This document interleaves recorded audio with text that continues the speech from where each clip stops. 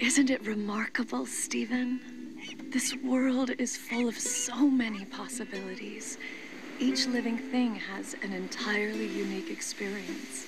The sights they see, the sounds they hear, the lives they live are so complicated and so simple. I can't wait for you to join them. Steven, we can't both exist. I'm going to become half of you. And I need you to know that every moment you love being yourself. That's me, loving you and loving being you. Because you're going to be something extraordinary. You're going to be a human being. Hey, Rose! Take care of them, Steven.